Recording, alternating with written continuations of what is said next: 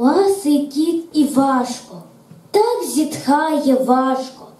Впала сіра мишка у порожню пляшку, впала сіра мишка аж на саме денце.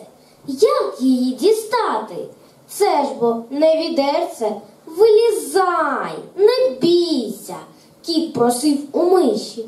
Я для тебе в мисті молока залишу. Вилізай, не бійся. Кіт благав до ночі. Тільки вперта мишка слухати не хоче, чеше круглі вушка, хвостиком махає, а голодний котик пляшку обіймає. І таке надумав, ласий кіти важко.